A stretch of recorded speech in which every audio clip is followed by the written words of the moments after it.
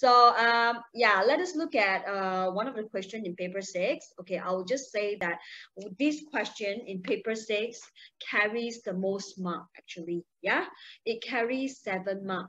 Therefore, okay, um, today, so this moment here, I'm going to discuss this and uh, I'm going to give you some format. Yeah, can I? So how you, you can score that seven mark.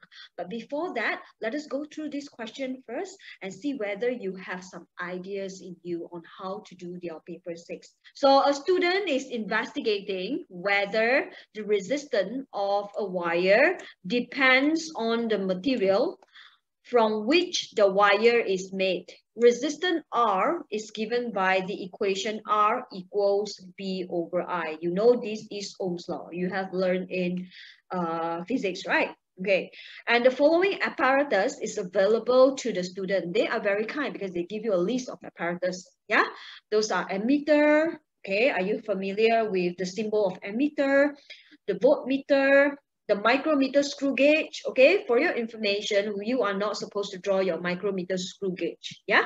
And power supply, zero to three volt, that means this is a very small power supply, small voltage, yeah? Variable resistor, variable resistor is like your rheostat. You can adjust, yeah, your resistance, yeah and the switch you can connect and you can disconnect the circuit. And the connecting leads is like your connecting wires. Yeah and your wires are made of different materials like copper maybe iron. Yeah maybe steel etc yeah so they ask you to plan an experiment. So i'm going to highlight. So um, you have to plan an experiment. Okay hold on. Okay plan an experiment to investigate whether resistance of a wire depends on the material from which it is made. Yeah, so you should, can you see what are, okay, the uh, things that they, you required to put in. Draw a diagram. When they say a diagram, that means this is a labeled diagram. A diagram without labeling, you score zero mark. Yeah, draw a diagram of the circuit you would use to determine the resistance of each wire. So explain briefly how you would carry out the investigation, including your measurements that you would take. So because eventually you have to prove this. Resistance is given by R is equal to V over I. You know that when they give you ammeter and the voltmeter, you have to calculate your resistance yeah? Different material or different wires of different materials they have different numbers of free electrons. So definitely the resistance will be different as well yeah? Based on the number of free electrons. If you have lesser free electrons that means resistance will be higher yeah? And then uh, including the measurement you would take state the key variables that you would control you have to control. This is a variable, but in this, during this experiment, when you conduct this experiment, that variable must be constant throughout the whole experiment until the end of the experiment, yeah? and draw a suitable table, tabulation of your table with column headings. Yeah, with column heading, meaning to say that you have to put, okay, uh, the uh, symbol together with their respective units. Yeah, appropriate yeah? So to show how you would display your readings you are not required to enter any readings in the table. Definitely you are not required to enter because you are not the one that conduct the experiment yeah? So that is all they want and eventually they give you the seven marks yeah? Shall we discuss on the format first yeah can we can i show you the format? Okay this is a whiteboard so i'm going to use the whiteboard to discuss the format yeah? So first of all for paper six or paper five yeah designing question. Paper six designing question yeah this i call it as designing question because you are supposed to or planning experiment yeah? Planning question okay? Planning question. So first of all, you know that when you are conducting experiments to make your life easier, I would suggest you to write down this first, okay? You must draw, draw labeled diagram. So draw a diagram so that you can have like a brief look, yeah, on the you have you may have like more ideas in writing your procedure or methods yeah? And the second step yeah list out all your variables yeah? So you have independent variables Okay, you have one independent variable, you have one dependent variable, even though you are not asked to write, but we are supposed to make sure that our independent and dependent variable to be included in our methods. Yeah, so dependent variable. And of course, the third one is the one that they ask you to write, which is, I'll use the other pen, okay?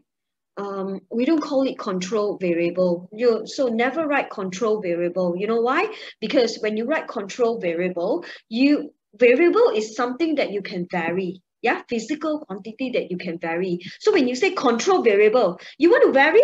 So people will wonder, are you varying that variable or are you controlling that variable to be constant? You get what I'm trying to say? So confusion is there. So try not to use control variable. That's wrong. Yeah. So instead of that, okay, we use this variable. Okay, it could be more than one. So I will suggest you to write more than one. Yeah, variables to be kept constant.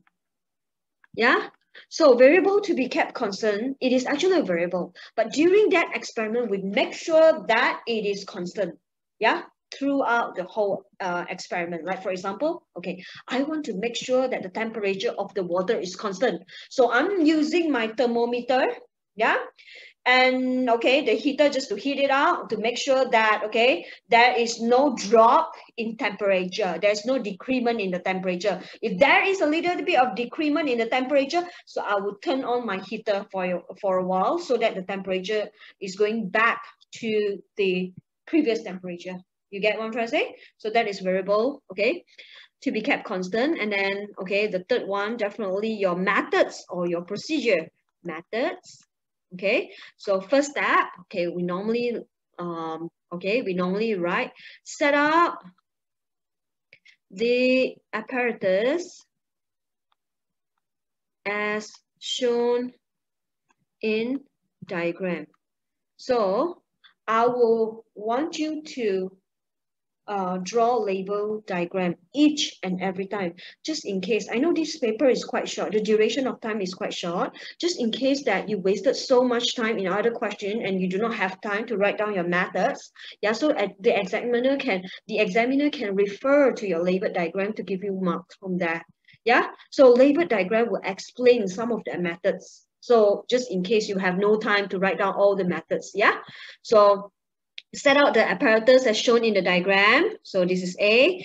B, you might want to tell us, okay, what is your independent variable? We know that your, this is your independent variable. So what apparatus that you use to measure your independent variable? Yeah, so apparatus, okay, or measuring instrument, I would say, easier. So, um, okay, measuring uh, instrument okay, for your independent variable. So let's say your independent variable is length, length of a wire, for example. So part B would be, uh, use a meter rule to measure the length of the wire. Ah, that is uh, what we want you to write, yeah? And maybe C, okay, um, measuring instrument okay, for your dependent variable, dependent variable, yeah? And method C, okay, I know that this is a variable to be kept constant, so how? Yeah, ask yourself, how to keep the variables constant? How are you supposed to keep that variable constant? Yeah, maybe you, you say that, okay, make sure uh, the variables to be kept constant is the diameter of uh, the wire, for example. So how to keep that variable constant? Use the same wire throughout the whole experiment. Yeah, so then, okay, E, Ah, repeat the experiment. Of course, you have to repeat many times so that your results are more reliable. And you are supposed to plot graph, you remember? Yeah, so in the physics experiment, normally we will be asking the student to plot graph. So your procedure must include, okay, re repetition, yeah, to make sure our answers are more reliable and so that we can plot the graph to see the relationship because the students are supposed to investigate the relationship of this and that. So to see the valid re relationship, the validity of this relationship, we are supposed to plot the graph. Yeah, that's the easiest way. Yeah, repeat the experiment, yeah, with maybe different length, yeah, and blah, blah, blah, blah, blah. Yeah, for, okay, maybe for six sets of readings. Yeah, okay. Um, then after that, okay, after you have written down that, uh, you might want to, okay, let us go back to the question. What are we supposed to include that? So key variables we have already done. So explain briefly how you will carry out the investigation, including the measurements you would take. Can you see? Measurements that you will take focus on your independent variable and your dependent variable yeah? And after that okay draw a suitable table with a column heading. In this case okay they did not require you to write down any safety precautions or any additional details yeah? But if you think that okay these experiments will have a lot of safety precautions a lot of things that you you want to remind the future students before they conduct this experiment you can also write that. No worries yeah? So therefore okay this is only some suggestions because some of the past question, they ask you to include the safety precautions and the additional details. Yeah, why not? Okay, we just change this question a little bit. I will put in the safety precautions and the additional details. Yeah, make it more than seven marks. How about that? Because this is just discussion. We are not, we are answering the past questions, but at the same time, because past questions vary yeah, designing question varies from one past year question to the other past year questions. So some past year question, they require you to put in safety precautions. Some are not like this. They do not require you to put in any safety precautions. Yeah, so therefore, okay, no worries. But for this question, we are going to put in extra. How about that? Yeah, so, um, okay. So this one is depending, yeah, okay. Uh, table, okay. Table, Mm, I would say tabulation of table, yeah, tabulation of table. And sometimes they will ask you how you would, when you have to, when you tabulate your table, how do you come to a conclusion? Come to a conclusion, normally we don't look at table, normally we plot a graph, yeah, plot a graph to see the relationship. Yeah. So if they give you something like this, let's say you are supposed to plot a graph of, okay, um, R is equal to V over I, right? So, or I'll just put V, I, V equal to IR. So plot a graph of V against I. If the graph start from origin and it is a straight line graph, then the relationship is valid. So depend on, actually depending on the equation that they suggested. Yeah, if they suggest this equation V equal to IR, okay, to test the validity of this equation, you can say that plot a graph of V against I. Yeah, if a graph uh, start from origin, it's a straight line graph starting from origin. Yeah, therefore, okay, V is directly proportional to I and the equation is valid. Yeah, and then number six, maybe we want to add some safety precaution, safety precaution, or okay, additional details, additional details. Yeah, we can add for that question that we are we are going to discuss later. So these are the format. Yeah. So based on the questions, actually they have wrote down whatever they want. Yeah. So we just follow. Yeah. So see now back to the question here.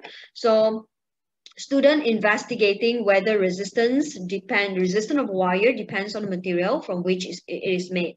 So resistance is suggested by that. So you have to tell us that resistance is calculated from V over I. So you have ammeter, you have voltmeter, you have micrometer screw gauge. Yeah.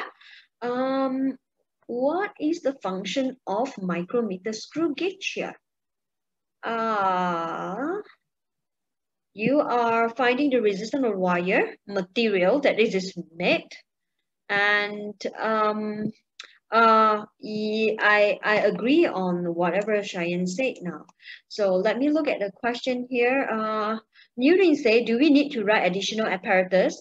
We only write that when they told us that, okay, uh, include some additional apparatus that is not given here.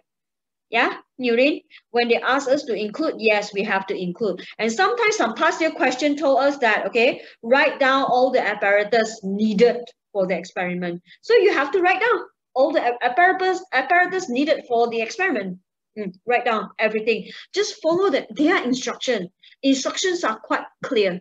Yeah, so Jane say, can we say constant variable? No, never. Constant variable is very confusing. Is it a constant or it is something that you want to vary? We always say variables to be kept constant. Yeah, so now, okay, let us start with our diagram first, shall we? So how do my, okay, how am I supposed to draw my diagram? Okay, so here, power supply is provided. So I'm going to use the power supply of, okay, 0 to 3 volt. I might want to use 2 volt maybe because this is the, we are supposed to measure the resistance of a wires. Can you see? And the wires that they are talking about here are the wires without insulator. Is this called bare wire?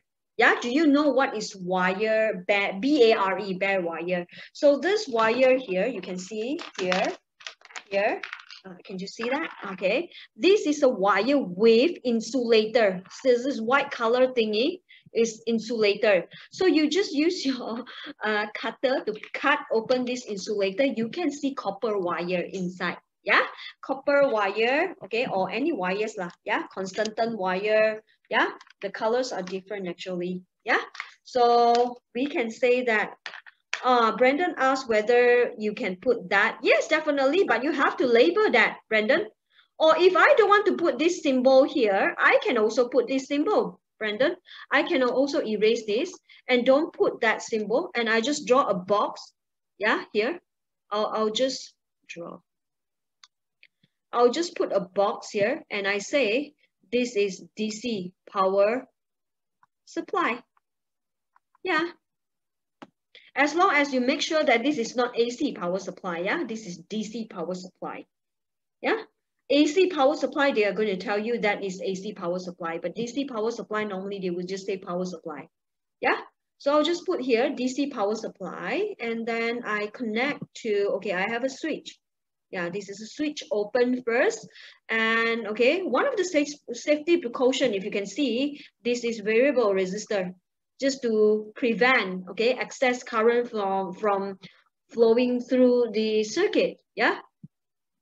It is like your rheostat, okay, but you have to draw an arrow. Variable resistor, yeah, the function of the variable resistor is as the safety precaution to prevent excess current from flowing through the circuit and burn the wire because the wire you can imagine right the diameter when you are supposed to use a micrometer to measure the diameter meaning to say that the wire is quite thin yeah? So therefore um and i have ammeter okay. So this one i'll just draw it like this okay. Okay a bit thicker as compared to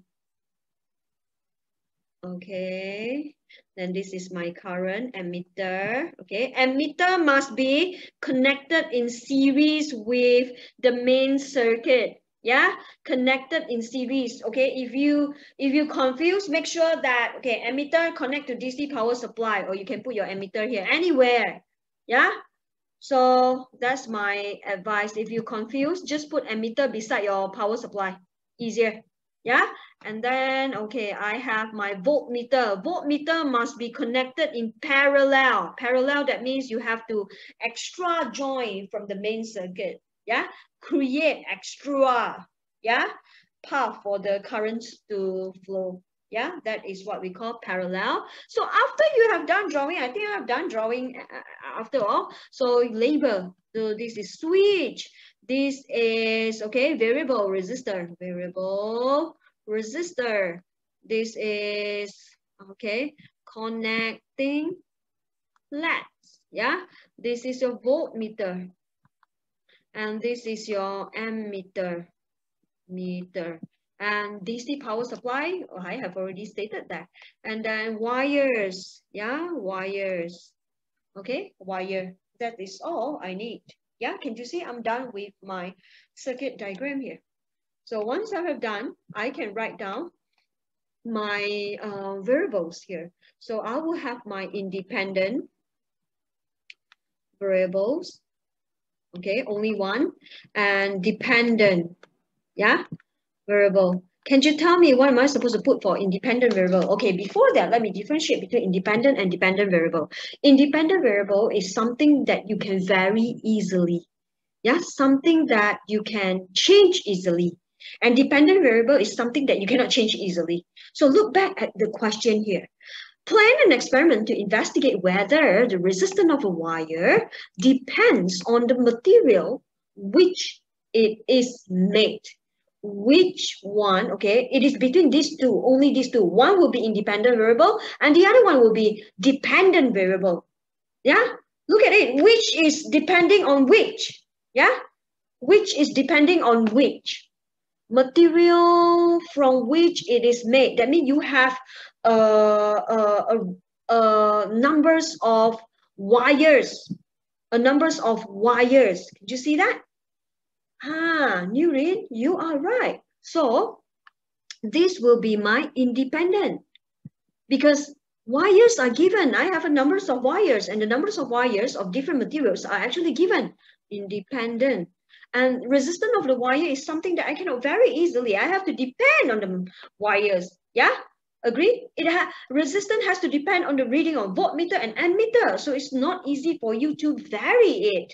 So therefore, resistance will be my dependent easier because I have to calculate it. Yeah. So therefore, my independent variable will be um, wires of different, you just copy material. Yeah. And then dependent variable will be resistance of the wire. Yeah? And then what about your uh, variables? Okay, we give more than one, shall we? Variables to be kept constant. So what are the variables that we are supposed to keep constant in this case here? Yeah, what are the physical quantities that you want to keep constant in this case here? So have a look at the diagram. Yeah, everything can be found from the diagram there actually. Hmm. So back to the knowledge that you have learned, back to the IGCSE syllabus that you have learned. Yes, Jane, yes, Brandon, very good. Cheyenne, very good. Okay, we have more than one. Very good. Okay, thanks for responding. That is very good. First of all, okay, of course, the length. You know the length of the wire will affect your resistance. Therefore, the length must be kept constant.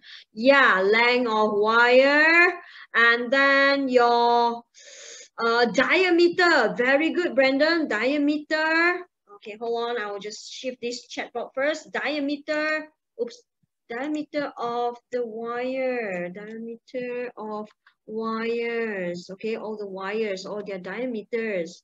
Um, and then, okay, the current that is passing through it, very good because you are using the real rheostat. Very good, current, okay. And then what else? Okay, voltage supply because voltage supply is between zero to three volt. Yeah, you have to keep that constant. Very good. Voltage of uh, maybe power supply yeah voltage of the power supply. Very intelligent. Okay i have more than that. Enough enough enough. I've done with my variables to be kept constant. That is only worth you one mark yeah? But it is good that you write more than one okay? So now we, okay, we are supposed to discuss about our methods here. Ah, okay, so first method, set up the apparatus as shown in the diagram. Yeah, so then, oh, before that, okay, before we set up, don't you think that we are supposed to measure the diameter of the wires using micrometer first? Don't you think so? So when we measure the diameter, we make sure that all the wires, okay, have the same diameter, then only we connect to the main circuit. Am I right? So therefore, okay, measure the diameters of the wires using, okay, micrometer screw gauge, yeah? And then set up the apparatus as shown in the diagram. Okay, then what happened is that switch is closed. Am I right? You have to close the switch first. And then number four, take the reading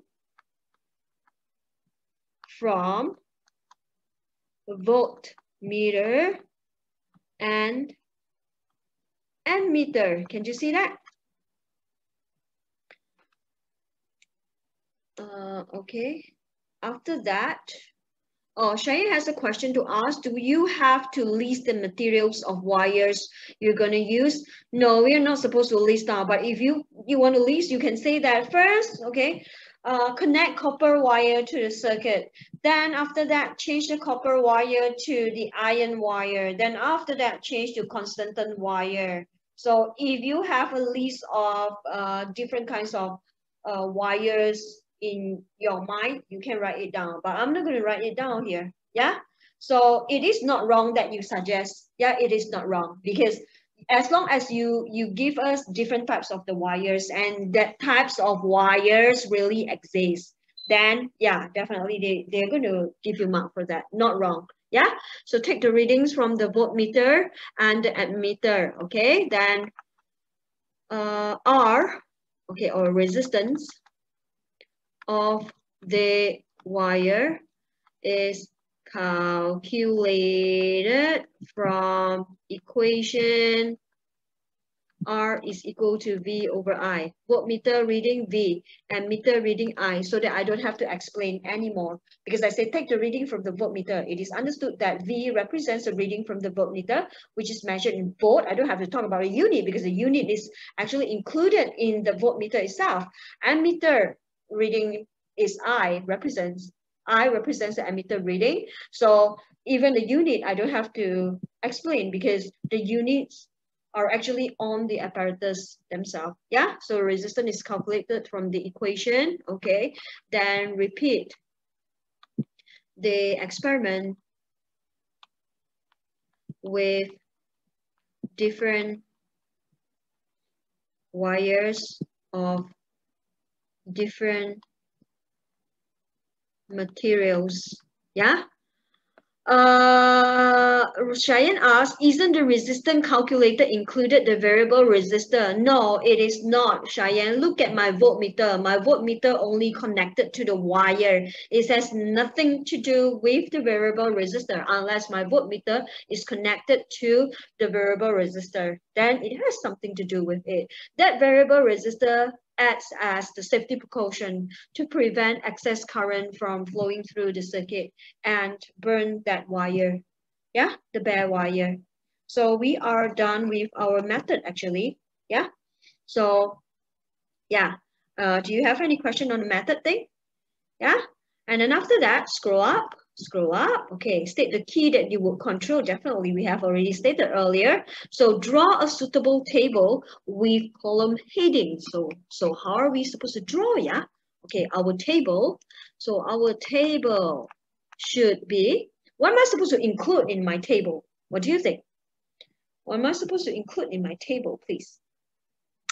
types of wire, okay, types of wires, okay, what else?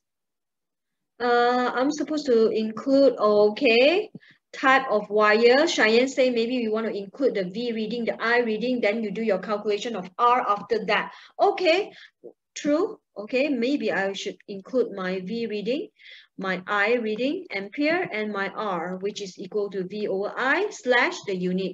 Yeah, this is how you are supposed to tabulate your table. Can you see? Column headings are the one that I wrote here. Types of wire. Types of wire, we don't have any unit for types of wire. And we have voltmeter reading, or you can write voltmeter reading slash V. Ammeter reading slash A, ampere. And resistance R slash ohm, depends on you. So we are not supposed to include in any values here. So we are done with our table. Can you see that? Yeah. So if Nurin asks if you put R right away, is it wrong? It's not wrong, Nurin. It's not wrong. As long as you put in types of wires and R, because the students is actually investigating the types of wire, different materials of wire, and respond to R. Yeah. So, so let us put some extra thing here. Yeah. So let us put in some safety precaution, shall we? Precaution. So what are the safety precaution that or additional details? Safety precaution and additional detail, yeah? Additional details. So what are the things that I'm supposed to write down, whether it is a safety precaution or it is a additional details? You see, first of all, Okay, um, Jane asked, is it every experiment must draw table? No. Some of the experiment you just see from the relationship, one is increasing, the other one is decreased. Then, okay, you say that whether this relationship is valid. So you just enough for you to tell us that, okay, uh, if uh, A is increasing, R is decreasing, then the relationship is valid yeah, sometimes tables are not needed. Some of them pass your question, they don't require table. So depends on the question. Look at the instruction, read every instruction. All the instructions are given quite clearly. So all you need to do is just follow the instruction to gain your seven marks. It is quite easy actually. If they want table, they will ask you to draw table, tabulate the table. If they want graph, they will ask you to draw graph or sometimes they will say um, uh, explain how do we come to a conclusion. So come to a conclusion how uh, uh, to, you have to test the validity of the equation. Maybe plotting the graph is the best way. So plot a graph of r against blah blah blah. If the graph is a straight line graph then the relationship is valid. Depends on the equation as well. Yeah, so I do not dare to say that each and every time you have to tabulate table. No, no such thing. Depends on the question. Yeah, so yeah, so go back to our diagram here. If you want to add some safety precaution here, okay, the one that I'm going to highlight here, variable resistor. Yeah, so if you don't have enough time, for example, you do not have, and they require you to write down the variable resistor, right? So you don't have enough time. And what examiner do is that, oh, oh, this person, okay, this person draw a variable resistor here. Okay, so we are going to give that person, this student one mark here, even though you did not write it down in safety precaution because they will anyhow they will help you. Yeah anyhow i believe that they will help you. Yeah so if that is why i always say that drawing a labeled diagram is very very important even though this diagram worth only one mark. But sometimes you, you know sometimes some of the questions are quite hard and you have limited time and you don't have enough time to write down your safety precaution your diagram will be the one that is helping you. I forgot to put, yeah, for DC power supply, I forgot to tell you how many volt that I'm supposed to use. I'll just put um, two volt here or one, one volt, yeah? Or in between zero, don't put zero volt definitely, put one or two or three volt are accepted. Yeah, depends. Uh, in this case, I'll put two volt, yeah? Yeah, so anything else? Okay, variable resistor is one of the safety precautions. So I'm not going to tell you, I'm not going to write that down. Yeah, uh, wow, Brandon, thanks for reminding. Okay, I will only connect to uh, the. Uh, I'm going to charge it when there's a sign of low bat, Brandon. Thank you very much. Yeah, so you are quite observant. Yeah, yeah. So shall I ask whether I can scroll down a bit? Yeah. Is that fine? True. So give me more safety precaution we are going to discuss. Yeah, down more, more. Yeah, give me more, more safety precaution, please. Safety precaution or additional details, please, more. Yeah, this is just a discussion, the one that we are writing down now, the safety precaution and the additional detail are not needed. That is why I put in green, yeah? So because we are just discussed, so therefore we want to put more things here so that we have more things to discuss here.